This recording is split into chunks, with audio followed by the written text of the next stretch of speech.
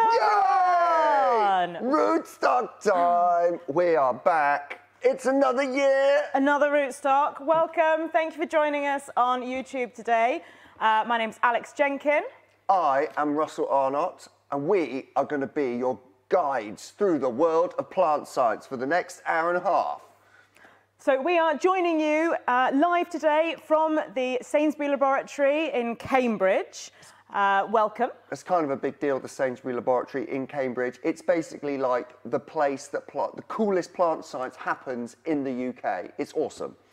Um, we've also got some exciting plant science partners joining us today. So um, we're also streaming live on the Rothamsted Research YouTube channel. Uh, Rothamsted are a leading non-profit research organisation and they focus on agricultural uh, research. We're going to be hearing from some people who work for Rothamsted uh, a little bit later on. That's cool. We're also partnering with the Royal Society of Biology, which is kind of cool. They're also kind of a big deal. They are kind of just in charge of biologists who, uh, who hang out in the UK and further afield. Yep we've got some things from them that we'll, we'll show you some of the things that they work on a bit later on. Um, and we're also partnering with Fuse School. Uh, Fuse School will uh, be joining us a bit later on as well. Uh, they are democratizing access to science education. They've got loads of videos on YouTube, so do go and have a, have a look at those. Not while our sessions are running, no. but a little bit later. Their videos are awesome, beautiful animations. And of course, we're from these awesome organisations which have got some acronyms. So I believe you're from something called SAPS. I am. So I run a project called SAPS, which stands for Science and Plants for Schools. Um, and we focus on supporting teachers and school science technicians across the whole of the UK.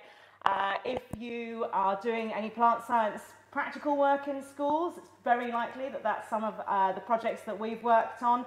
Um, we also have developed all sorts of different resources for use in schools. Most recently, we sent out some posters, so do have a look out for those on your classroom walls. Awesome. And of course, this whole thing is done by the Gatsby Plant Science Education Programme, and it's just brilliant. It's just out there trying to get more and more people into plant research, which is what we're trying to do today with Rootstock. We've got some great videos that were made by students and scientists who study plant science. And these videos, they're a lot of fun. They came here to this very space back in uh, summertime and they made, they spent a couple of days messing around and learning how to make um, fun plant science videos, which we're going to showcase to you today. Yeah, absolutely. We're going to hear also from some of the people who took part in Rootstock. So we've got some pre-recorded comments from people who couldn't join us live today, but we've also got uh, some people who are joining us live online. Uh, there will be to talk, to talk about their video. So please make sure you ask some questions. You might have seen some of those banners coming up on the bottom of the screen already. Uh, we can bring up your questions so you can ask us questions. Um, we've both had jobs in plant science, um, and, uh, we can also ask the, some of the researchers questions. You can also ask the students questions. Um, and in fact, I'm going to encourage you to uh, get involved in that straight away. So in order to do that, if you're not sure, if you've not commented on a live stream before, some of you might be old hands, you just need to, whichever live stream you're watching, just type it into the, uh, the comments that are running um, on the video, and they will all come through and be able to sort through them and bring them up live. Um, so I think we'll try and get started. If anyone wants to add something in to say, are you excited about Rootstock today? Start, introduce yourself in the comments. Say where, where you're, joining us from. Yeah. Absolutely. Um, and um, hopefully we'll, we'll be able to bring up uh, your questions a bit later on. So it'd be interesting to, to see that. And I've got to say, there's no such thing as a silly question.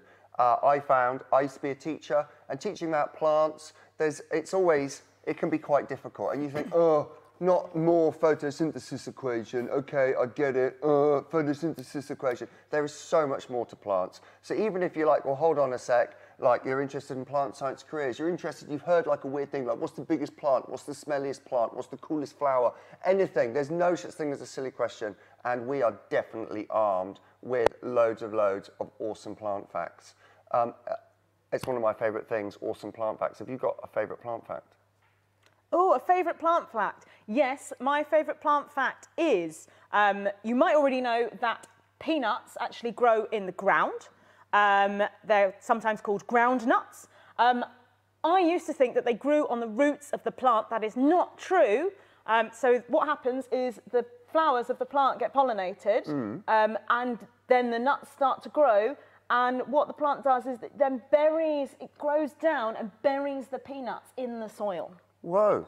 So that's, that's my favourite cool. plant fact. So a peanut plants itself, basically? Yeah, that, yeah, absolutely. That's pretty awesome.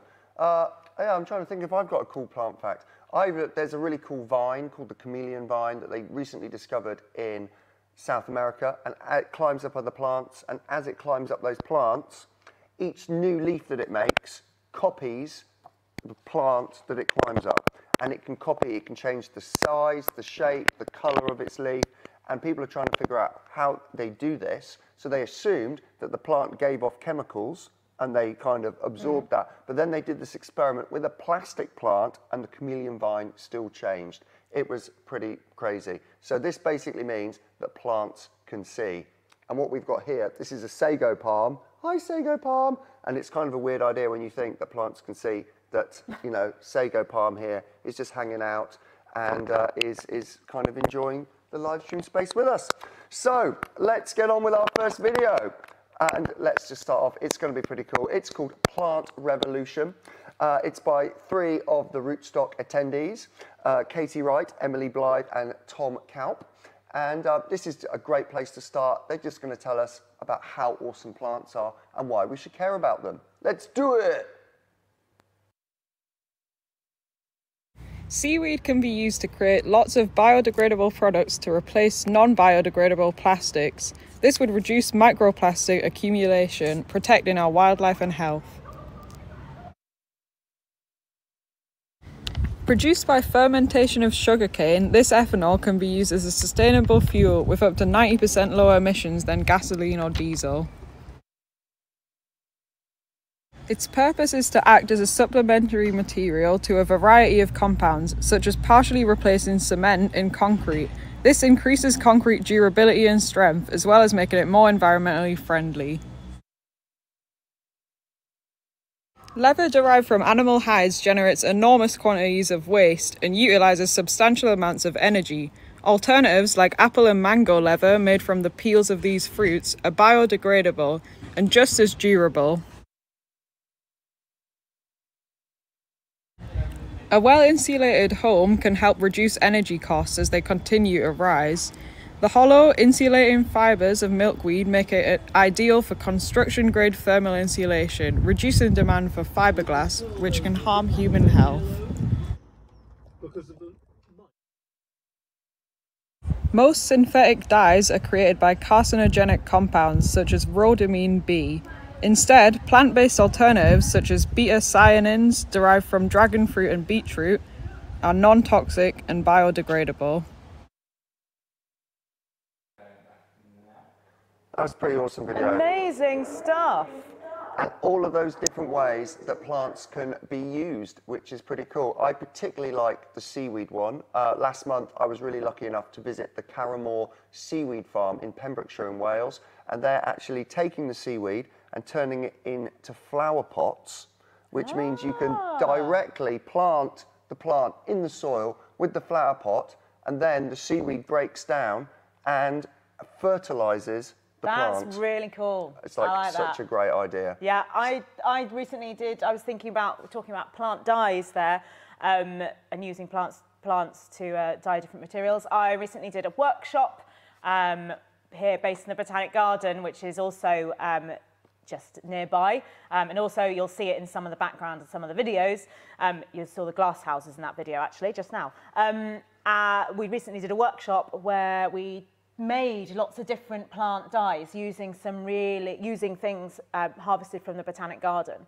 Uh, it was That's really cool. interesting. You get some really amazing colours. It was really fun. Dyes and paints. I've heard that onion skins make really awesome colours. And you can totally like just get those, boil those up and paint with them. That was one of the things I did when I was a teacher. It was quite a popular one making uh, onion skin dyes. So that's kind of cool. So uh, I'm just having a quick look. I mean, yeah, it's absolutely nuts that all the things you can do with mm. plants. It's amazing. So, so and hopefully um, you're inspired by that video. Uh, there's still lots that we, uh, there is to find out about plants and what we can do with plants. They're going to be really important for making things in the future. So, um, and now. Uh, so uh, hopefully uh, you're inspired and we will, I think, head on to um, our next video, which is actually an introduction um, from one of the students who worked on this project. so we've got an introduction from Susanna. Uh, Susanna Iden, she's at the University of Essex and she's studying uh, a degree in global sustainability. That's, um, that's a pretty awesome degree, I've got to say. I must admit, I didn't realise they had awesome degrees like that. And so this is another thing that you can ask questions about to people. If you're curious, like what can I do with plant science? Where can I study it? What kind of thing? doing a degree in something as broad as global sustainability, also ridiculously important. So do, if you've got any careers questions, any questions about how to get into plant science, what to study at university, any of these things, do pop those in the comments. Yeah, absolutely. We'll do our best to answer your questions. Um, so we will now hear from uh, Susanna Iden. Uh, so here's her intro to her video. Hello there. So, my name's Susanna, and I'm a second year global sustainability student at the University of Essex. Um, I took part in Rootstock the summer of this year, and it was a really enjoyable experience for me.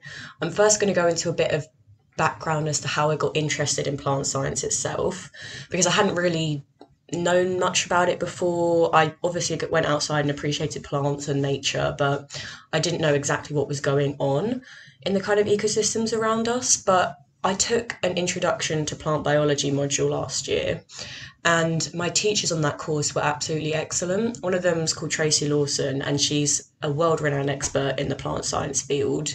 She's just won a fellowship with the Royal Society um, so that she can carry on researching into how to protect food security and make sure we're still feeding everyone, even as populations kind of grow out of control. Um, so her enthusiasm and her knowledge really got me excited in plants and how to Im- improve crop yield and things and how to make photosynthesis more efficient. Um, and she was my mentor for when I applied to the Rootstock program because it is a competitive program. But if you've got yourself a good mentor and you write a really strong uh, personal statement, you'll stand a really good chance of getting in. And so she was my mentor for that. And I kind of hadn't thought much about it, but I wanted to learn more, especially in the plant science communication um, area, because knowing yourself about plant science is one thing, but being able to communicate that well with different target audiences in a way so that they trust what you're saying and that they're also engaged in what you're saying is a whole different matter. Um, so that's really what this three day course taught me. It was really fun, really well supportive. It really got you to tap into your creative side, which I think as scientists we often don't do. Um, and yeah, I'm really proud of the video that me and the person I was working with called Athena we uh, shot this video. Um, we kind of had about two hours on the last day to do it. Uh, so, yeah, I'm really proud of what we managed to come up with in such little time. Um, and it's about seagrass.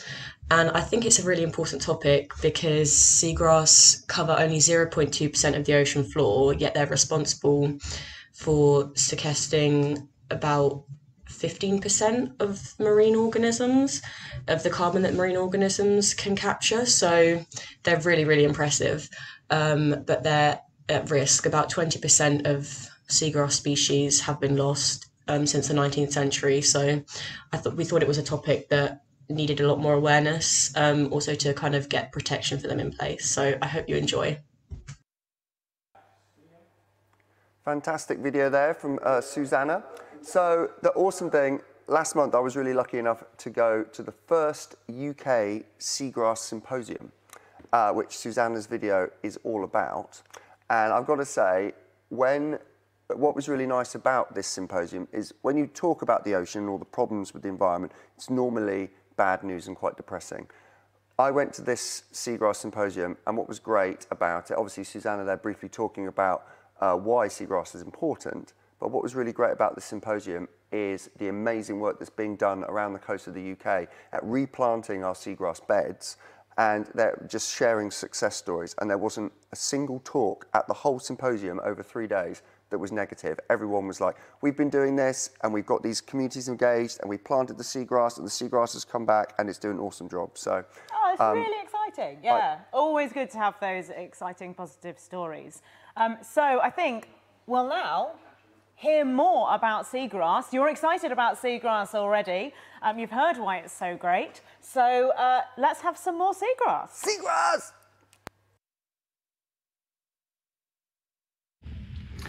This is Simon the seagrass. He's sad because no one appreciates the value that his underwater meadow ecosystems have in the fight against climate change. Often forests are at the forefront of conservation efforts because of their fantastic ability to remove carbon dioxide from the atmosphere.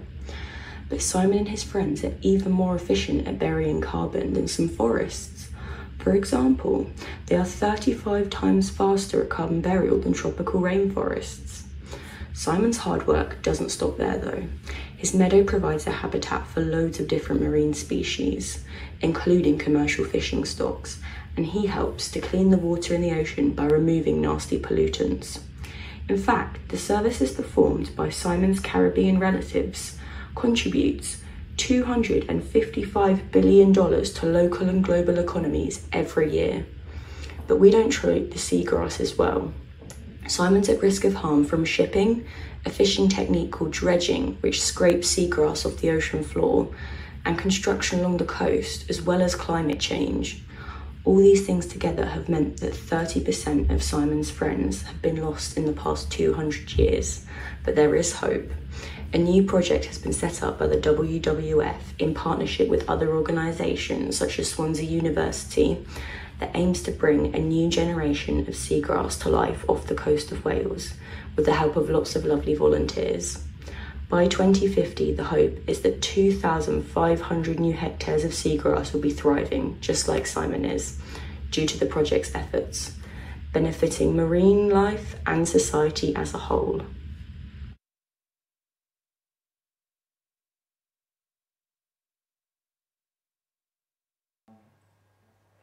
So clearly, you can see there, seagrass is ridiculously important. So um, yeah, in terms of trying to fight climate change and that carbon absorption, as well as what we call ecosystem services. So just providing habitats for fish and, and things that we like to eat out the sea is pretty important. So go seagrass. Absolutely. Um, and you'll have seen uh, Susanna there at the end, uh, with also with Athena Lamb as well, who also uh, contributed to that video.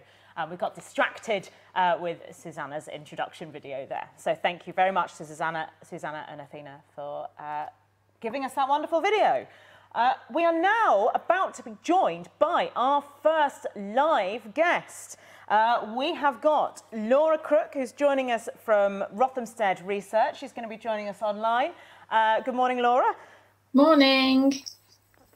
How's it going? Uh, yeah. So we've got a little note here that says, as well, like a weed ecologist, that sounds awesome. I, I understand that there's no, I was told there's no such thing as a weed. A weed is just a plant in the wrong place. Well, yeah, that's true. Um, but yeah, um, yeah. So yeah, I say I'm a weed ecologist, but I actually um, I focus on one specific weed that's a real problem for uh, arable farmers in the UK, um, and that is something called blackgrass. Um, when it's and it well it it looks it, it gets its name because it's a it's got a dark coloured seed heads. Um, and then when you see it ac- across the fields, it's it that's what gives it its name as, as blackgrass. So but um, but I study some. I've, I've, studied other weeds in the past as well, broadleaf weeds and and grass weeds. But that's yeah, I'm specifically looking at blackgrass at the moment.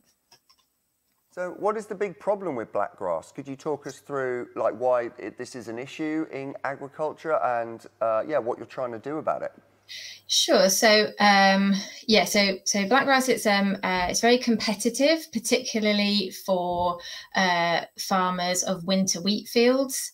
Um, so it's it's com- it's competing for for the the light and the nutrients, um, which is a problem in itself. But then its other main problem is that it has got has developed herbicide resistance. So um, a lot of the work that I do is um, testing samples around the country um, to see the levels of resistance and feeding that information back back to the farmers.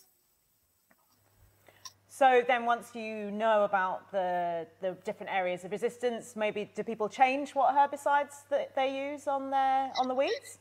Yes. So um, yes, a lot of work we've done is is working out um, you know the levels of resistance that, that farmers have got, and we we did that. Um, we, we've done that very significantly and, and, given given farmers a lot of a lot of help with knowing the levels of resistance. Um, unfortunately, it's quite a lot. Um, but now we're we are now looking more into trying working out why they've got resistance. And so there's uh, so working out um, looking at the genetics um, and you know working out the, the mechanisms that are causing that resistance. Um, but yes and then there has been work done in the past to um, it, it's a case of being um, careful about the, the herbicides that uh, farmers are using. Um, but it, it's also then about using other techniques. So um, making sure you're rotating what different crops. Um, uh, yeah. Um, different crops in the ground that they're growing, so not always growing the winter wheat, um, or maybe growing spring crops instead. Um, it's it's you know about those cultural techniques as well. Fantastic. So I'm just curious as to how, like, in terms of your career pathway, how you ended up to be studying uh, weed ecology and uh, and obviously a massive impact. It's, I guess it's one of those things that we don't necessarily think like has an impact on our food and where it comes from. But yeah, massive impact. So would you mind, like, yeah, talking us through how you got to be doing your amazingly important work? Uh, thank you. So um, I did I did a degree in environmental conservation um, which I think has been discussed before. Uh, um, you've discussed previously, like it was it was very wide. It was very kind of broad, um, lots of different subjects, including plant science, um, and um, I yeah when when I left university, I did some uh, uh, short term projects of doing some. Uh, surveying um, and then i had I, eventually applied for a position as a technician. Um, just thought it looked interesting. It had an, a more kind of practical outside element to it, so I applied for that. Um, and then, yeah, worked, and that was at Sheffield University. Worked there for a couple of years, and then joined Rothamsted um, close to ten years ago now um, on this specific blackgrass project. So, I suppose it it kind the it kind of found me actually the uh, uh, the plant the plant science um, and yeah so and then been been working on on this yeah specific um, weed ever since um, but I'm, I'm very much a, a, a practical um, technician um, I'm uh, not not often in a lab, mostly found in the glass houses. Um, we do a lot of field work as well, which I really enjoy. So yeah, I'm I'm I'm more on that that's like practical practical side. And yeah, so growing the plants in the glass houses, um, we spray them with herbicides and see the results. Um, we do a lot of field work over the summer to look at the, the, the amount of blackgrass that's out there on our on our farm network. And yeah, I'm more of that. And, and I think the reason I've I really like being a technician is because it's very varied. Um, sometimes you have to do the same thing for a couple of days, but usually you can, yeah, there's there's lots of different jobs to do, and that's um, yeah, that's really what I like about it. Fantastic. Thank you very much, Laura. It's really, uh, really interesting to hear about um, your route to working with plants and uh, how how you how plants found you. Um, so I think that's really, really interesting to hear. Definitely. Well, I mean, I'm, and I think you kind of hinted upon it a little bit there, but I was going to ask, what, what is the best thing about like the, the work you do, the job that you do? If you could, uh, basically, I'm, we're trying to get as many people watching this to be like, yeah, I want to do what they do. That's the idea. so yeah, if you could talk yeah. us through that, that'd be yeah, awesome. Yeah, sure. I think um, it's probably the it's probably the the, the outside um, fieldwork element actually. Um, every summer for the past 10 years we've been going out to the same few fields to to see how much black grass there is out there and that's just really interesting and it's great to be out be outside. And uh, and then just recently this autumn we've been doing um, uh, yeah, doing some soil sampling actually. So that's been really nice because I've not done that for, for a long time. And so it's nice to get some different skills and do something, do something a bit different. And yeah, I think it's the I think it's just the, the practical element of it all and and yeah, doing doing different different things each day. Fantastic. So I've just seen we've got a question coming over the uh, over the SAPS channel. Uh, it says, has there been any unexpected twists or turns in your work? Things that have popped up where you've been like, what? Uh, I didn't think that was going to happen, or you've had to take your research in a different direction? Um, yeah, I can. I, yeah, I can think of an example of um, generally our work has taken a, a, direction, but there have been times when we we once set up a big experiment and um, it it didn't work. Uh, it, it didn't work out. Um, and so, so unfortunately, yeah, we had to we had to kind of scrap it and start again. But we'd learned lessons from what we'd done with that. Um, uh, in in the particular way we were trying to grow some some of the black grass plants and and so then yeah we we learned the lessons from that we had to start again and grow the plants again um, which is slightly time consuming because plants take these certainly these plants they take a while to grow but um but yeah and then and then we'd we we went so then we could we, we learned the lessons from that and we could we asked around then and got some ideas on different methods and um yeah and and tried again and that was more successful. So i think certainly that's something that yeah some sometimes it, it doesn't work but actually kind of all data is good data, even if it's kind of no data, because then yeah, you've yeah you you you've learned for next time, and yeah, and you can you can make make changes, and and yeah, it's frustrating, and it's a bit of a um bit of a yeah an unexpected twist, but yeah, it's it, it's part of part of science really to um to keep to, to try again. Yeah, no. absolutely. Um, and I think just probably one final question uh, for you, Laura. I think, as I recall, you're sticking around a little bit. Am I making that up? Someone yeah. has given me a thumbs up. Um, you're yeah. sticking around a little bit. Um, so, um, but one final question for the time being. Um, if you could give a bit of advice to undergraduates who are interested in plant science, what little bit of advice would that be? Um, I think that would be um, so. I was uh, I was lucky enough when I was at university to do um, to do some work over the summers in between um, you know one year ending next year beginning.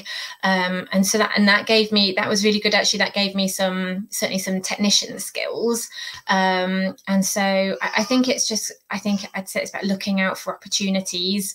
Um, and and yes they don't some I mean that for instance some of that was in plant science but not all of it. And so I think it's just kind of looking around for those opportunities and and kind of grabbing them really because then any little bits of experience you've got um, can help you to to yeah to find your passion in in certain areas and to and also to kind of get those get those skills so then once you're yeah once you're out looking for for for a job or the next the next thing then you've you've got that you've got that already to to show Amazing. I mean, I think that's that's a great bit of advice for, for any career, any career mm. path as well, is to take take the opportunities that come to you, such as opportunities to come to an event like Rootstock or to watch a live stream. What an opportunity. there we go. Um, yeah, thank you very much, uh, Laura, and we'll come back to you um, a little bit later on. Um, we are now going to head on to our next video, which is all about mosses. Um, and after that, we'll be joined live in the studio. Um, I can see her getting excited already um, I'm excited. By uh, Dr. Renske Vromans, uh, who uh, is involved in making this video as well. Uh, this video is by uh, Emily Burridge, Al Holland, and Renske Vromans. Emily is at Royal Holloway, Un at Royal Holloway University studying biology, and Al is at the University of Aberdeen studying plant and soil science. So let's find out about mosses! Guys, come quick, look at this, look what I found. What is What's it? that? It's moss! Moss? How boring. Why should I care? So, what use are mosses to me? With over 12,000 species, think about the possibilities. We can use them for medicine, growing soils that we farm our food in, and when they're really sensitive, so they can tell us when something's going wrong where they grow.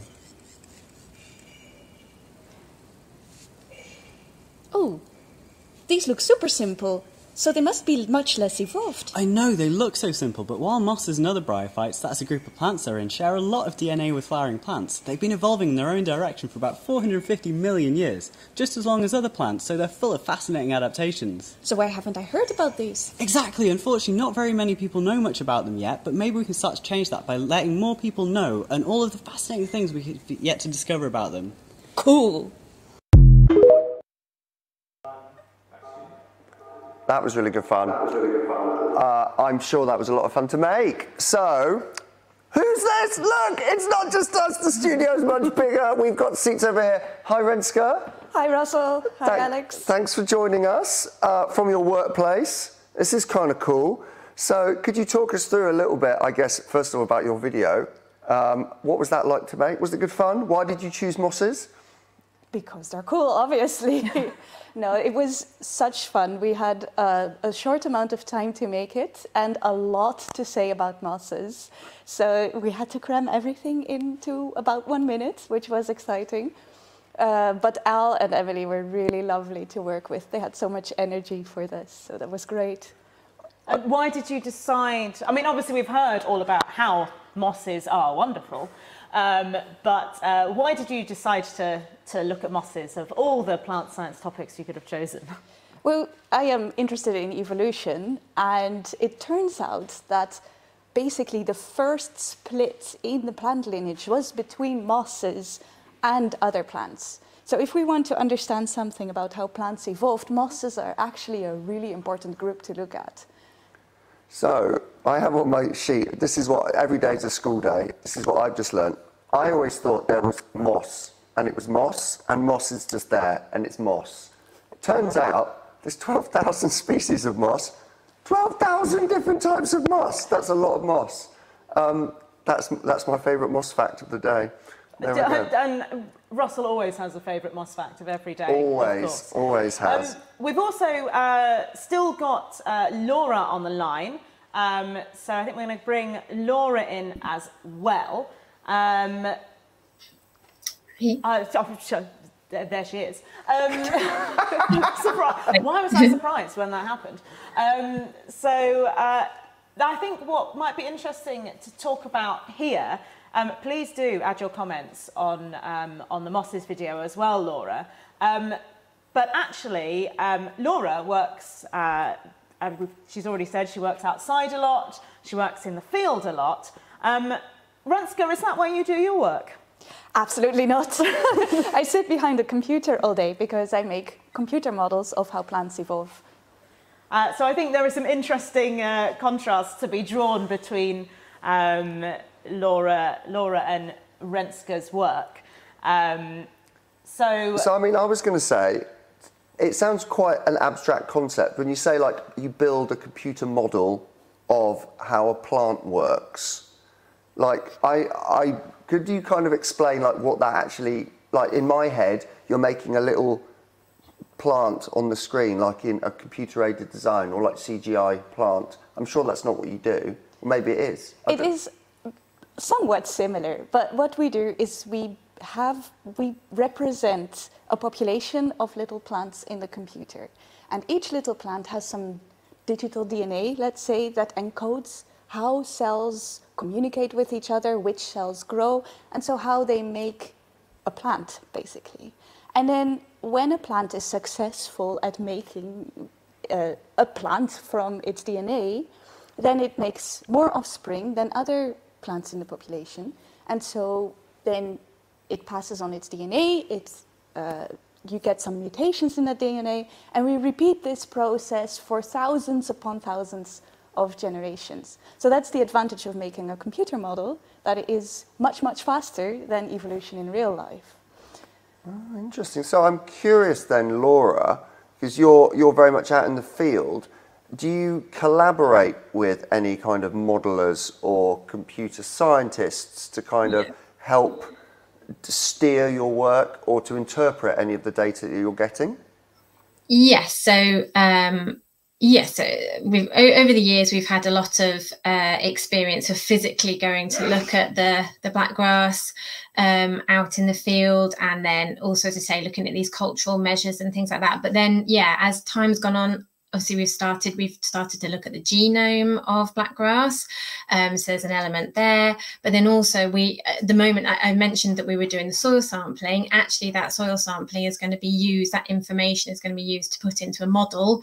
Um, we're working with um, a woman who's already designed a model um, but we're going to to kind of take that model and see if we can um, add more data to it. So all of this soil data will get added. Um, also the, the elevation, the resistance levels. So we can put all of that information in and that might help us to either maybe predict where the black grass might be in the field or um, or yeah to look at the levels of resistance and and yes yeah, so definitely now our, our work is we've got a level of understanding but we're trying to to get more and and and yeah and we're and as you say collaborating with other other other colleagues to try and get a bigger bigger picture of it all so that's a really important important element of of that now these days Awesome. Thank you very much. So we've just got a question coming. So obviously you're a scientist and we're kind of told scientists, you just have to do science. You are doing things like science communication or making videos. Uh, why do I have to do that? So I've just seen we've got a question come in about the rootstock experience, what it was like working with the students and making the video. So I wonder if you could like elaborate a bit on that, but also talk a little bit about, I guess, the importance of communicating within your role. So I think uh, communicating about what we do is really important, uh, not just because uh, we get public money, but also because we have a lot of fun doing what we do. We find what we do really interesting, and we want to share that uh, enthusiasm. And so working with the students is also really cool because, uh, so for instance, as a modeler, I know how to make models. I have general knowledge about evolution and development, but Al knew a lot of cool facts about mosses, and he was really enthusiastic about this process. Emily was a wizard with the technology to put the video together. So I learned a lot as well, uh, and I find that really rewarding about working with students. I think, I think it's really good, and I think there's this idea that a scientist just works by themselves in a lab in front of a computer, something like that. And I think more and more the modern academic is, I think it's, it's it necessary to cause societal change, to get your work in front of policymakers, decision makers, and to, to have, you know, something like farmers uptake your work. So I guess it's interesting, a similar question for you, Laura, then, because I'm guessing you have to do a lot of collaboration with policymakers or uh, agriculturalists, farmers, things like that. So could you talk a little bit about collaborating with these people and, or communicating with these people outside of the traditional academic space? Yeah, um, and certainly that that's something that I'm really interested in. Myself and my colleague are very, yeah, we're very much about trying to get that information back out to the farmers. We have a, a network of about uh, 60 farms that we um, that we are uh, speaking to regularly over the years now um, with, with, the issue of blackgrass. Um, and we're, we're always trying to make sure that we are feeding back that information to them because we think that that's really important, that it's rather than us doing the work down at Rothamsted, um, you know, we, we think they need to be knowing about what what is going on, what what we've been finding out, and then that that can help help the farmers and the the, the growers and the agronomists. Um, who advise the farmers. So yeah, so we, we will send them feedback on on what we've seen over the summers. Um, we'll sometimes do um, uh, news newsletters to give them updates on what's going on, um, and we'll attend um, shows, agricultural shows or conferences and things like that to try, yeah, to try and get that message out there because yeah, we we we do believe that it's really important that they they're included in what we're we're doing as well. Amazing. Um, you can really see how you can have uh, having an impact that research that you're doing is um, uh, and the technical work you're doing, how that really has an, can have an impact um, in the real world. Um, it was lovely as it is to have both Renske and Laura here. Um, I think we need to say goodbye to them because we need to go on to um, our next video. Um, we've got a lovely uh, comment from Celia here um, who's saying that she's really enjoying it um, and enjoying the excitement from the presenters. Yes, So uh, we're good. doing a good job so far. Thanks, Celia. So Thanks. Thank you very much um, to both uh, Laura and uh, to Renske. They are going to be hanging around. So if you've got any questions specific to either of these awesome scientists, do pop the questions in there. So let's get on to the next video. It's called Mycorrhizal Mobile. That's a good word, mycorrhizal. Always, I have a nightmare trying to spell that word. But this is by Dominic Leach, uh, Nadine uh, ooh, Bayer-Ramova, Lucinda Cullen, and Nia Feeks. So let's check out this video. Mycorrhizal Are you a lonely tree having trouble communicating? Well, you need Mycorrhizal Mobile, the fungal network that helps you talk to other trees. Don't believe us? Let's hear from our happy customers. Mycorrhizal Mobile. Hey bro, are you fruiting? Yeah. Sick, I will too. Mycorrhizal Mobile. I'm a young tree and hungry. Transfer some food. Okay. Mycorrhizal Mobile. Hey bro, are you being eaten? Yeah. Cool, let me put up some defenses. Mycorrhizal Mobile. Yo, are you on fire? Yeah. Okay, let me drop some seed. All for the low, low price of a cozy shelter and a few glucose a month. Terms and conditions apply. This company operates on a symbiotic relationship. We help you and you help us. If our glucose cost isn't paid, our services will no longer operate. Defenses come in salicylic acid and jasmonates. Food transfers include proteins, sugars, starches, and more. Improve your network. Choose Mycorrhizal Mobile. Well, hey, I know what I'm going to have stuck in my head for the rest of the day. Mycorrhizal Mobile! What a great, what a great jingle. There we go. Um, I think as well as promoting mycorrhizal networks, this team should definitely, definitely get into advertising. That was quite good.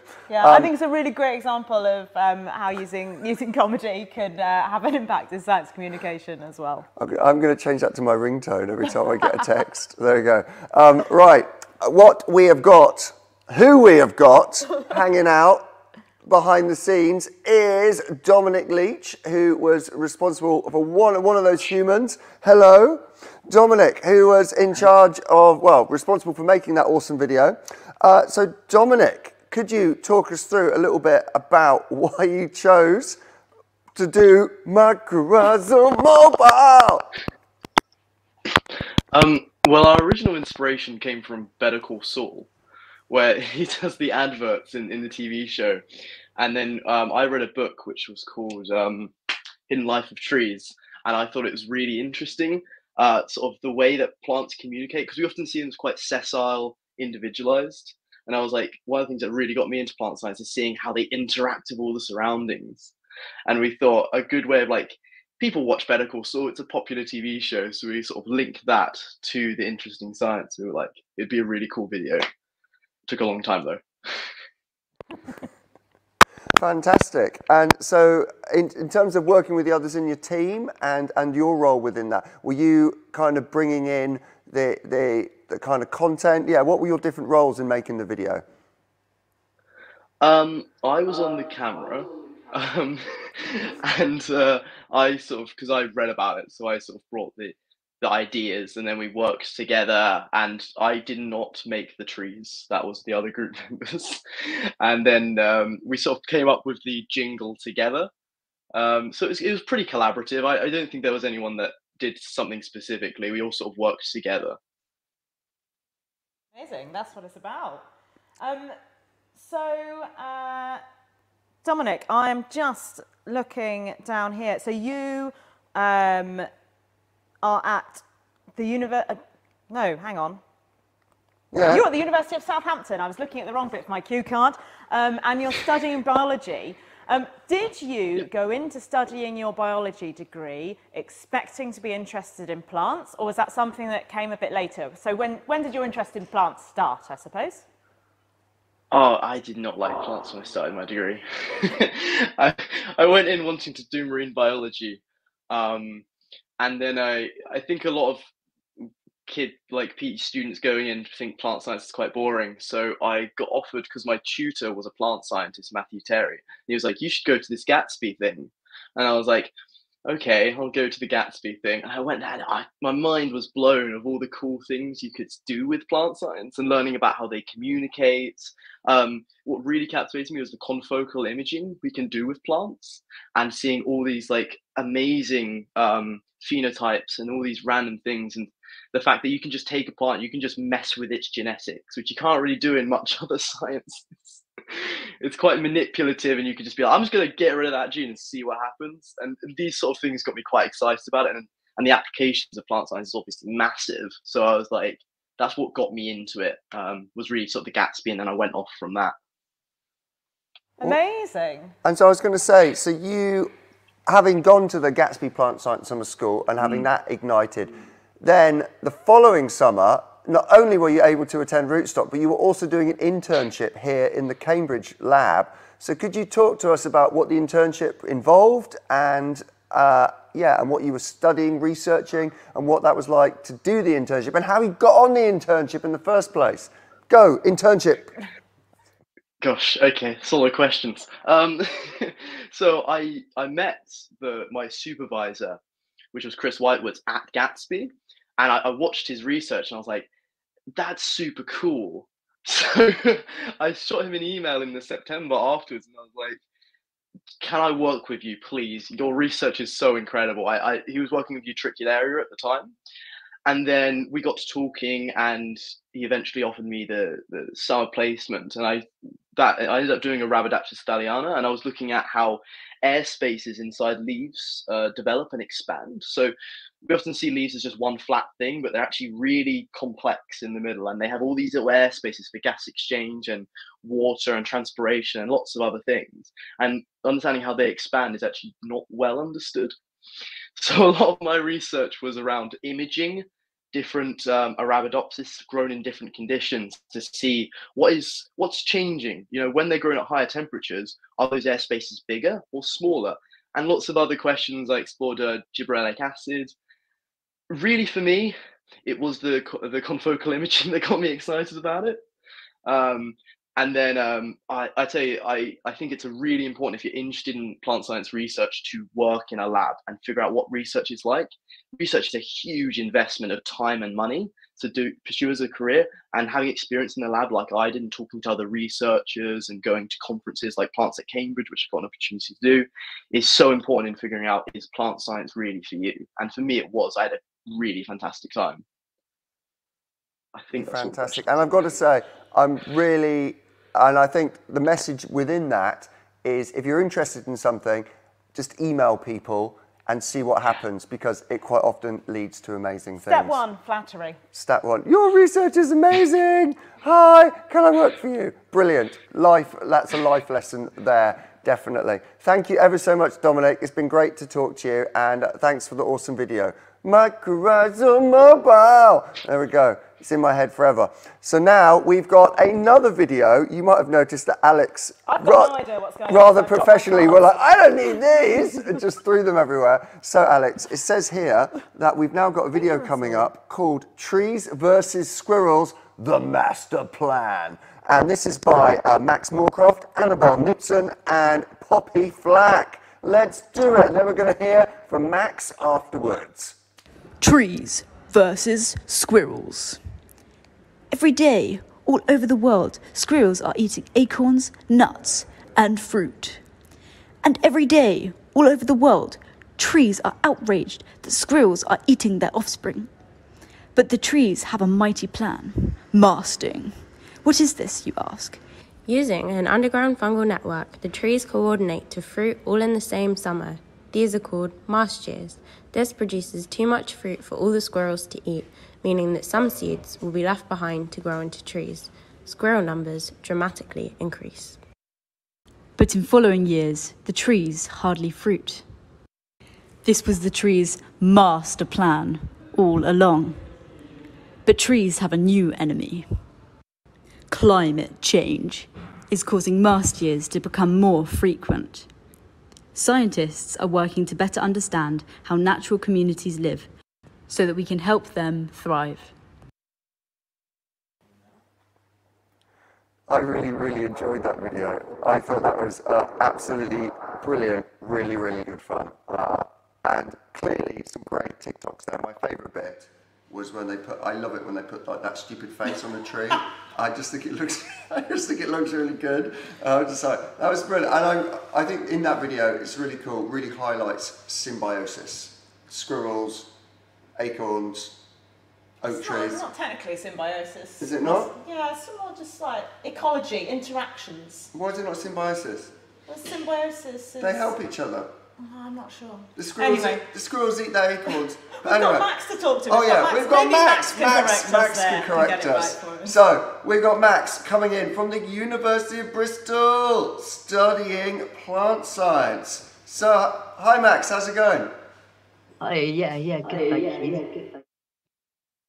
So you were here at Rootstock and you chose to make this awesome video. Uh, what was the what was the impetus behind kind of this? Uh, like what made you think, oh yeah, we need to do the squirrels versus trees thing? So I'd say that um, the fact that not many people actually know about it, even though we see oak trees around and people know that oak trees make acorns and um, a load of other deciduous trees have their own fruit, but they not many people really know that actually these fruit don't come out every single year. Um, and it has an effect on the further ecosystem and just that yeah just it's just a really cool thing that we thought this fact needs to be out in the in the public domain a bit more Fantastic. I, So, I think it's really nice to, to link to something that people see all the time, right? So people people generally people know what an acorn looks like. Um, if you don't, Google an acorn. Um, and then you'll know. Then you'll see know what to know what to look for, how to spot an oak tree, um, and every time you see an oak tree, you'll be reminded of um, Max, uh, Annabelle, and Poppy's video. Um, so thank yeah, thanks very much, Max. so I was, uh, as you might have heard earlier, we were having an argument about whether It's it was about whether it was symbiosis. As I, I mean, so first of all, is it symbiosis? I would also i would argue that it's not um just because I, I, just just because it kind of has i guess the the increase in acorn levels causes the squirrels to have an influx in population levels. Um but they don't exactly work together. It's almost like a an interspecies competition that they're trying to They live without each other. one yeah That's what, you know, they can live without each other. Just as I was reflecting, symbiosis is where you've got two organisms that rely on each other for, for their existence. Well, who, yeah, you can't, one can't survive without the other. Fine, nerds. That's. I, I was just saying that because I lost. There we go. That's fair enough. Good point. I like this specific definition of symbiosis. I think it's right. So, Max, what is quite rare is that you're probably the first person that we've chatted to that is just doing plant science at university. Could you talk us through about how you got into plants and what the decision was to study plant science at degree level? Yeah, of course. So my love for plant science actually didn't come from biology. So I didn't do a biological um, A level, which kind of maybe set me back for the first year. Um, I, I really had to kind of work very hard for first year. But where did it come from? I'd say that it came from just a, a, an innate love for plants Um, so I would go and sit by this tree, um, and then somebody said like they gave me this tree tree book which they found in the charity shop and said maybe you'll be interested in that. Learn as many of the trees as possible, um, and then just realized that I loved to learn about all of these facts um, about the trees and then that's turned into wildflowers and i hope that it turns a bit more into mosses because currently my moss knowledge is very very dire. Um, but i would say yeah so just a love for plants. And i applied for plant science on a whim just because i thought oh yeah plants that would be cool because i love plants as kind of a um, um, just in case and the rest was going to be uh, natural sciences um, for chemistry and maths. And then just kind of at the last minute, I said, I don't really want to do chemistry or maths. I just want to learn about plants. Um, so it was very much just a, sto- a, sto- a story of love for plants. Story between Max and the plants of the world. Um, on to mosses next. Um, I was going to say, so you, uh, you came to Rootstock and you learnt these kind of communication skills. You, you, your plant love continued to grow. So what's next? Where are you? Where are you taking uh, your plant science degree as you go further into it? Um, so I realised um, that going into plant science, it wasn't exactly always what I had expected. So I was expecting like a lot more botanically based um, stuff like learning random facts, whereas it's been a lot more biological.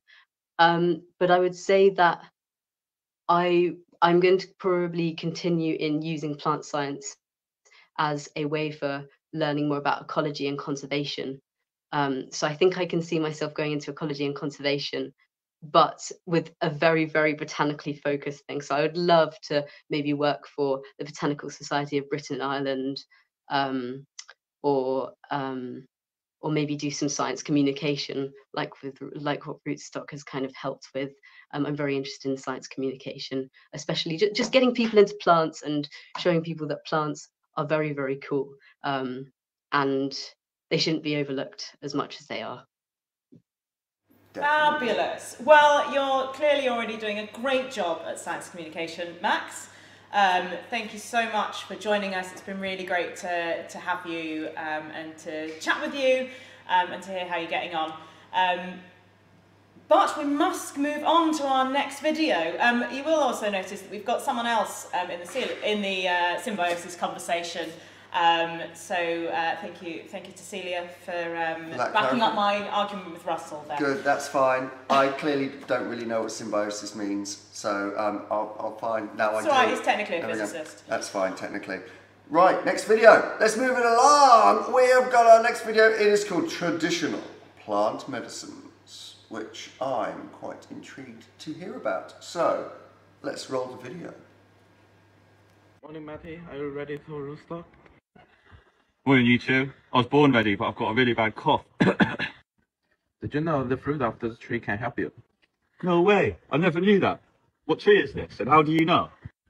This is ginkgo tree. The recipe has been used in traditional Chinese medicine for thousand years.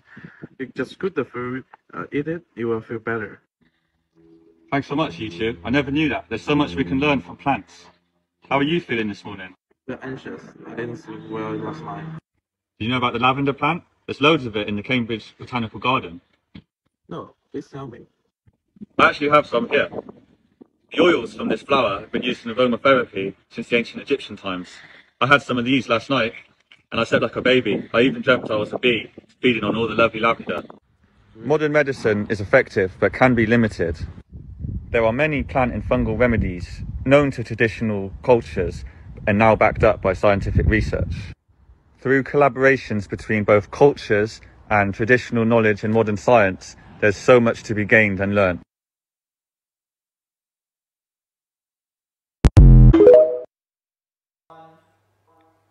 Fantastic, really great video. And I think it really highlights how much traditional knowledge and compounds and things that are inside plants we've been using for thousands of years that we're only now being like, oh, okay, what is that chemical in there? And trying to extract those to form uh, modern medicines. Yeah, I think um, that video uh, was from Matty Jobson and um, Yuki Cheng, um, who uh, presented that video. I think that really did show that. Um, and actually, if you want to learn a bit more about the research that's going on in this area and the work that people are doing, um, we've got uh, a video on the Gatsby Plant Science Summer School YouTube channel. Um, we've got an interview uh, there, which is all about uh, research looking at traditional uh, uses of plants and how um, people are researching that and how we can sort of make connections between these these two different areas. Definitely. So uh, she's called Dr. Rebecca Lazarou, based in London, and she is an ethnobotanist. She's been working at Kew Gardens to go back through historical documents and see these traditional folk remedies and tie them in with like modern, uh, I guess, kind of botany uh, to find out and to look at the compounds within these and to use, I guess, kind of natural compounds that are found within plants to, to do healing. And, you know, most of the time, I can't, I, is it 60% of the compounds that are in medicines are derived from naturally from plants? It's I wouldn't, I wouldn't remember that sort of number, but it's certainly a lot. There's lots of um, medicines uh, to be found in plants. So if that's something you're interested uh, in doing, is finding uh, new uh, new medicines, then do think about looking for them in plants. And I think a lot of what Rebecca does is facilitating communication between different groups of people with different types of knowledge. Um, so more traditional knowledge, um, and I think hers is quite UK based, but people do this and they work um, also talking to um, people in, for example, indigenous communities around the world um, to find out how, how they have their, they have scientific knowledge about, about plants and about the way that we can use plants and how we can integrate that um, with, with other understandings of plants. Definitely, and there's, I mean, I guess at the other end of the spectrum, there's also some amazing research happening at the John Innes Centre uh, around this flower called the Madagascan periwinkle, which has got uh, cancer healing properties within it. But the problem is, is those the compound that cures cancer within the flower is at such low concentrations, we have to harvest a lot of these flowers to do it. So they are doing research at the John Innes Centre to increase the concentration of this compound within a Madagascan periwinkle flower, which is going to make harvesting easier, which will hopefully bring down the cost of cancer medication. Well, it's funny that you mentioned flowers, Russell, because actually that is the theme of our next uh, three videos. Um, now, the first one we've got coming up uh, is going to be from Fuse School.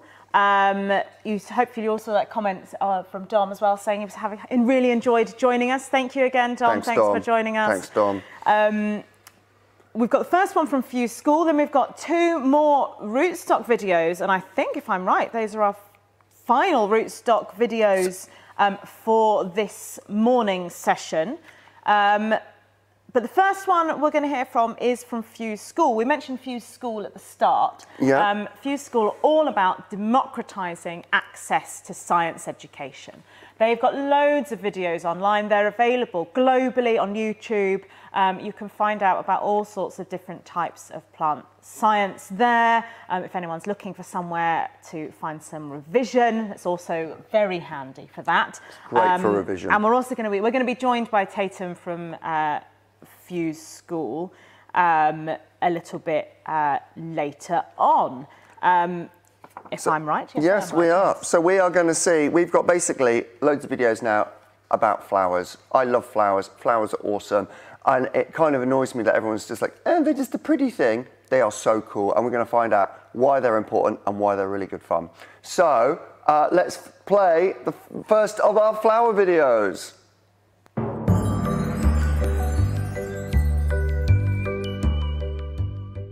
Around a third of our global crops depend on animal pollination for their production. Almost all of these crops rely on flowers to attract animals to themselves, and so, if flowers vanished, we could lose 35% of all our crops. That's roughly equivalent to having one less meal per day for every person on Earth. So you can see just how vital flowers are to our food supply. This video will look at the role of the flower and why they are so important to us. You probably already know that flowers attract the pollinators that they need by being bright and colorful. They are therefore contrasting to the leaves and stems that support them and stand out in a field of green. They frequently also produce sweet nectar which many animals feed upon. The animals visit to collect this nectar. In doing so, get covered in pollen and carry this to other plants. There is a downside, however. Often the nectar and these big bright flowers cost an awful lot of energy to produce. Plants have evolved other ways to attract their pollinators. This is why some flowers also have other clever ways of attracting animals. For example, some plants have colored veins or spots on their petals to guide visitors to the nectar, just like those people on a runway with ping pong bats. Others have regions which soak up heat from the sun and slowly radiate this back out again, just like a radiator for pollinators. There are even some flowers which are so specifically evolved that only one insect can visit them. Sorry, no nectar for you unless you have a 30 centimeter long tongue. All these pollinator attraction tactics help move the male pollen from one plant to another. But why do plants bother? When plants produce Whoa, there we go. Awesome video there from Fuse School. And no nectar for you unless you've got a 30 centimetre long tongue, Russell. Fortunately. what I love about that video is I think at school we just it's all about bees and it's just Mm. bees, bees, bees, and the bees go here and the bees there. And what I really liked in that video is it really showed the range of pollinators. It showed the birds. Not many people realise those are pollinators. Right at the end there, it showed us the moth. Uh, and I believe what it was alluding to there was the Darwin's orchid, uh, where this orchid was growing and they were like, oh, we don't know what pollinates that. And so Darwin predicted the existence of a moth with a ridiculously long tongue that would have pollinated that before we'd actually found the moth. And here in the Botanic Garden, there is actually a specimen of that. And I love the story behind that, that kind of interdependence of the plant and animal working together. Did I use that phrase right? Interdependence. Oh yeah, yeah, I'll take that. Yes. Um, so and so that moth has now been discovered. Just to make Yes, sure that's yeah. really clear. Right, more about flowers. We've got plenty to say about flowers. We've got another um, rootstock video. This one was made by two researchers here from the Sainsbury Laboratory. Um, in the Sainsbury Laboratory, Cambridge, I should just be clear about that. Um, so this is from Lucy and Elena. Once upon a time, fields were rich in flowers and bees. Bees were happily and easily getting the food for their family and baby bees by visiting flowers. But progressively, human actions severely impacted the varieties of flowers and number of pollinators. And this is very scary because while bees feed on the flowers, they also pollinate them. And most of the vegetables and fruits we consume in our daily diets come from the crops that rely on pollinators. That's why scientists decided to tackle the problem and study how flowers develop the beautiful, colorful patterns on their petals and how these patterns catch pollinator attention. Like people, flowers come in all, the sh- all, shapes and sizes, and different pollinators like different petal patterns. We are using variants of hibiscus trionum flowers to study how changes in petal pattern impact bee attraction. We found that even subtle changes, like reduction in pigmentation, can have a major impact on bees' attraction. And hopefully, one day, we can use this knowledge generated in our lab to help the bees finding their flowers. Phenomenal. I really love those animations. And I think I remember uh, Elena and Lucy making that video and they panicked because I think they had to hand it in and then they accidentally like deleted it or something like that, like half an hour before they had to hand it in. So that, that video, they were, ah, and they quickly like made it again. And so I was, I was well impressed. Um, really love the hibiscus flowers in there, and they are amazing hibiscus flowers. And there's a lot of work that happens here in the Cambridge lab looking at the weird properties of hibiscus flowers. Yeah, absolutely. Um, and thinking about making those flowers more attractive to pollinators, particularly bees. So bees are important. we, Bees might, are. we might have dismissed them a bit before, but bees are very important too. Um, we've got another video about flowers. Um, so this one is from William Withers, um, and this is all about wildflowers, and it's called Wildflowers. Wildflowers! Wildflowers. Play it. Since the 1930s, the UK has lost over 97% of its meadows. This has had a devastating effect on our biodiversity, but there is certainly still hope. Wild plants are found in green spaces in urban and rural environments alike, but often they don't get the chance to grow and flower, as some people deem wild areas as untidy. The same mentality is applied to our gardens, with traditional sprawling cottage gardens replaced with slabs and fake plastic lawn. Allowing wildflowers to grow doesn't help just the plants, but also provides habitat and food for insects, birds, and mammals. Communities could come together to establish meadows in their local areas, giving people the chance to get outside and make new connections. And successful initiatives like No Mow May can allow people to appreciate the importance and beauty of wild plants. If we are to have a more sustainable future, we must change our mentality towards wildflowers in our spaces. I believe the future of biodiversity depends on the integration of wildlife into gardens and public spaces, creating an interconnected network of habitat where nature can flourish.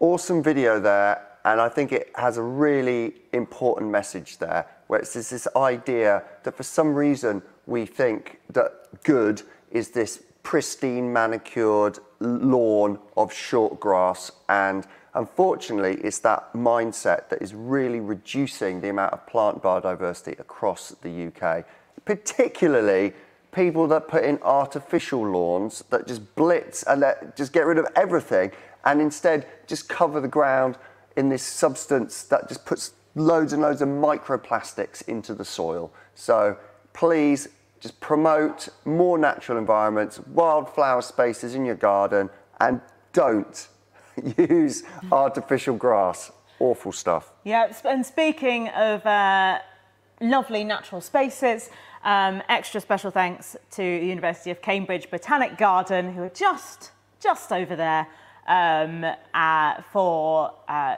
those the, many of those, in fact, probably all of those flowers that were in in that video um, that that William uh, that William made.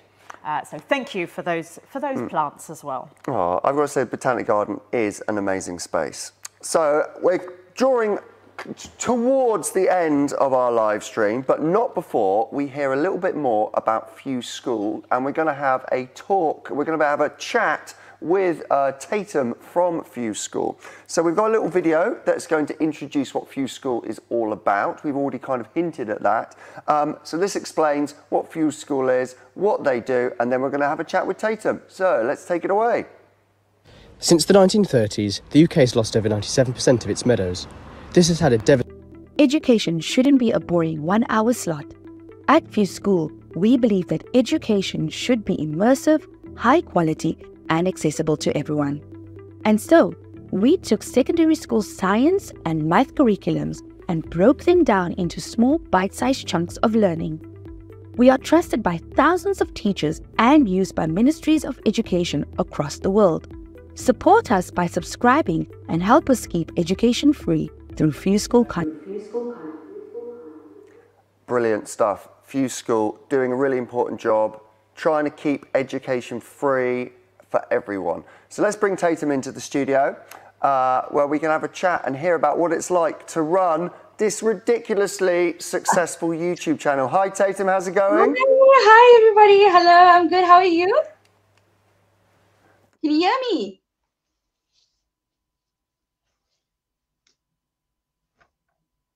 See you again.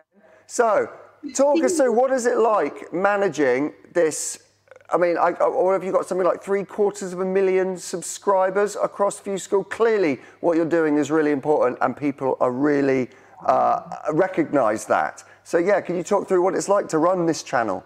Well, it's really amazing because we get to work with fundamentally education and to provide resources and material for kids all over the world. As we know, uh, we have different styles of learning. Some kids learn by just going through a book, and then you have your visual and auditory learners. So we really are passionate about breaching the gap and making sure our resources are there to stimulate and engage students no matter what their learning style is. Phenomenal. I really, really enjoyed the flower video as well. So we've noticed you've got some plant science content on there. Could you talk us through the making of the of the, the flower video that you showed us? Right. So first of all, we have our scripts that we work with um, and collaborate with different teachers. And then we go into our group meetings where we basically uh, storyboard everything about how we want to visually bring this across. And we break it down into the, the most basic concepts. And I think this is the, the, the, the hardest part is like, what point are you going to highlight the best part of the information to make it relatable and easily to retain for our students. So that is basically what we do. And then the animation process, the colors, the style guide, the fonts, all of that follow through. And as you can see, keeping it simple is the most important part, making sure that what is seen on screen is the most important facts of what we want our students or basically any child to take away from the video, making sure that it's concise, um, it's visually impactful, and then, yeah, just making sure it's easy to understand and that the language is easy. Yeah, I would agree that that's one of the real challenges in science communication work, especially if you yeah. know lots about a subject. And some people watching might pick this up from me and Russell today that we know lots about plants and we want to share it all, but we've got to stick to the important messages. Um, we've had a question um, come in via the Science and Plants for Schools channel. Um, saying thank you, Fuse School, for, uh, for joining us today. Um, What's one of the biggest challenges that you face with your mission? I think the one of the biggest challenges is just making sure that our content is available everywhere. Um, YouTube is an amazing platform, and we are able to push out as many videos as we possibly can. But time constraints uh, can fall in as well, and making sure that each child everywhere in the world has access to internet um, if that if that makes sense. Not every area is developed enough to have um, stable internet. So i think one of the, the challenges we face is making sure our content really reaches every person out there. Um, and then yeah just keeping it short. Sometimes we we have so many great concepts that, that we want to push across but then you have to really like fine tooth comb through it all to make sure um, that you you really get the best content out there. Yeah, it can be really heartbreaking to lose lose some of those things sometimes. Absolutely. Definitely. So we, I was going to say we've got another question come in. Do you have any tips or tricks for explaining scientific topics in, in, a, in an easy way within a video? I think it comes down to language uh, it's like a three part ske- skeleton. If you take up what is the most important content that you want to learn, you can build your vocabulary around that. Try not to add too much to it, keep it very simple, and the shorter, the better. Short, powerful, impactful. Fantastic. And so I'm curious as to how you got into science communication. I mean, I mean, fundamentally, you're like, okay, I run this educational YouTube channel, but fundamentally, you are an incredibly successful and impactful science communicator. So, how did you arrive uh, at, in this position? Well, I taught for 10 years in South Africa. I was a teacher, and as a teacher, we talk a lot. Um, but I think what, what drove me and what drove my passion into uh, pushing Fuse School is the fact that I, I want people to learn. I want people to be excited to learn. I want them to understand listen, there's more than one way to learn. You can learn through various platforms, various um, ways. And I think communication is part of that. And I think being a teacher and learning from my students and how they learn, that has ultimately propelled me to where I am today and making sure that the content that we push forward um, is for the students first, learner centered.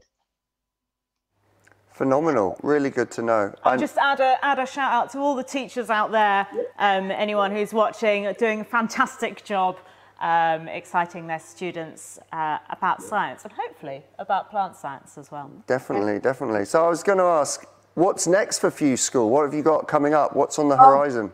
Oh, we're working on some good stuff. So everybody know the world of AI is out there, and we experiencing changing our top videos into some amazing languages to reach more kids out there and localizing uh, the languages for them. So we're busy doing the forerunning in in AI and um, languages, as well as year seven and eight mathematics. We're busy with creating videos to help and resources for the classroom for the teachers um, and then we've got something special uh, in the pipeline but i don't know if i'm allowed to say anything uh, but we we all know that sometimes students like to use chat gpt and uh, to help them suss out and do the homework. So we we're busy trying to do some amazing things with Fuse School, creating a platform for students where they can interact with us.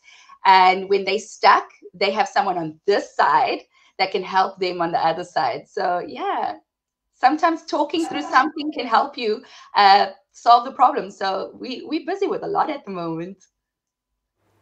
Oh, they sound really, ex- really exciting projects, Tatum. Um, I think that's really interesting, like thinking about using AI in that in that way.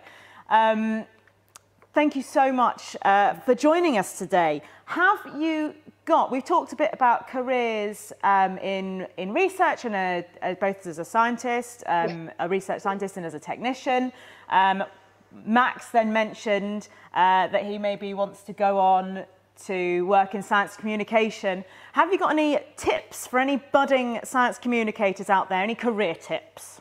Absolutely what i picked up from uh, max is that he's very passionate and i think being passion driven about science and how the world works will actually propel you into to kind of taking your career to the next level and especially in science communication taking an idea and turning it into something that is engaging and concise and clear for the person to understand.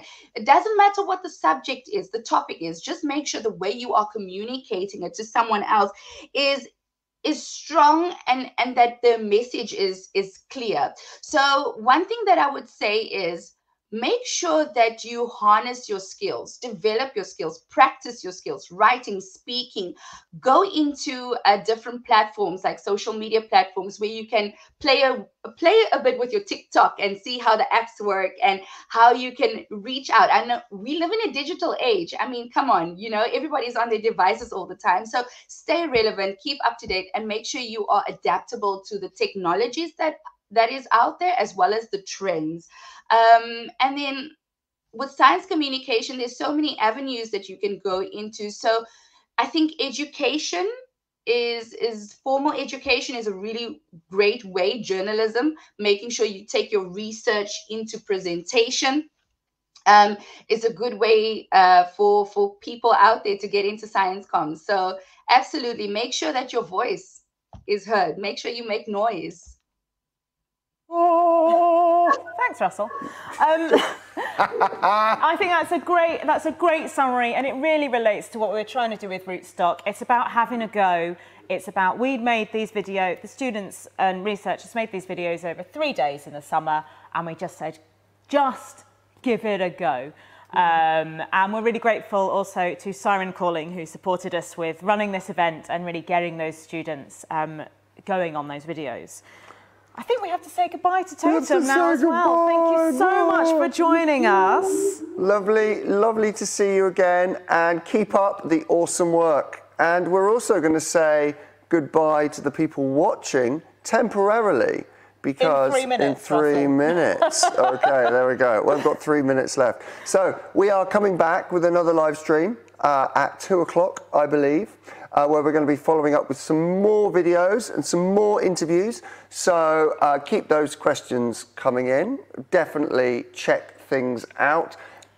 There's going to be going to have links in the video afterwards for all of the institutions and the people that we've talked about, so you can follow it up. You can see things, and we'll even afterwards, if you're watching back the live stream, have those little pop-up cards in YouTube, so you can be like, "Oh, click on that! Oh, click on that!" And that's the noise you'll make, obviously, when you click yeah, on those absolutely. things. That's Don't what I do when I'm uh, when I'm looking at YouTube videos. Don't we all? Yes. Um, some one of those links will be uh, to Science and Plants for Schools, which is the project.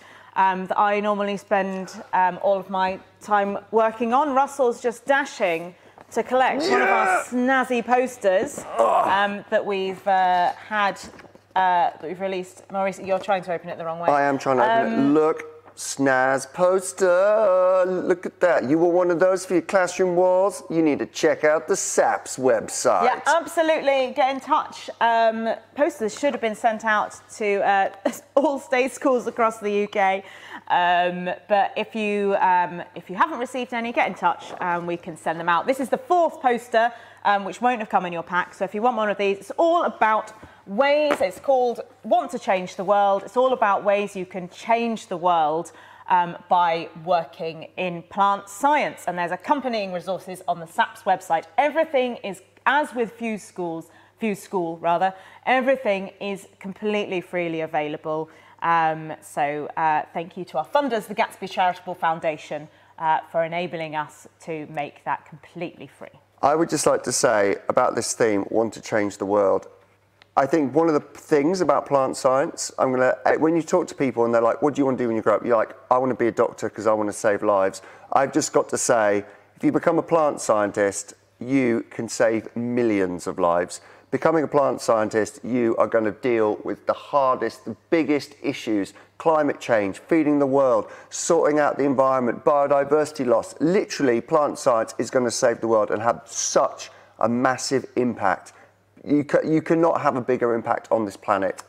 I say, literally, want to change the world? Get into plant science.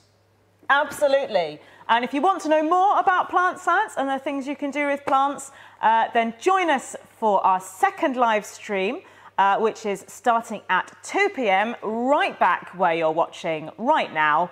Um, but for now, we'll say goodbye We'll and we'll join you again later. Goodbye. Thanks for watching. See you, you. soon. Bye. Cue the disco music. Disco outro. Disco outro.